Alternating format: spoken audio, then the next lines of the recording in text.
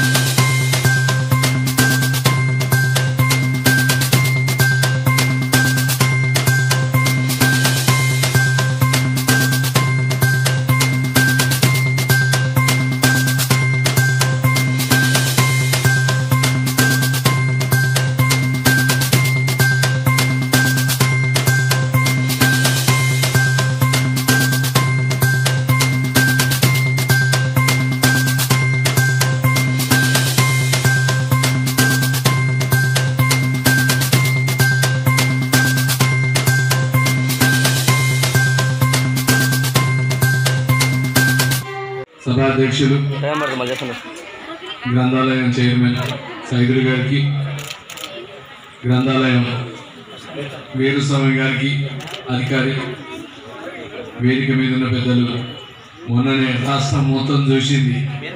తన దానాన్ని చూసి సత్యనారాయణ గారికి మాజీ గ్రంథాలయం చైర్మన్ జిల్లా ఉమ్మడి జిల్లా నారపరెడ్డి గారికి మాజీ చైర్మన్లు శ్రీనివాస్ గౌడ్ గారికి ఎంపీపీ గూడెం శ్రీనివాస్ గారికి. మాజీ సర్పంచ్ కోట సూర్యప్రకాష్ గారికి.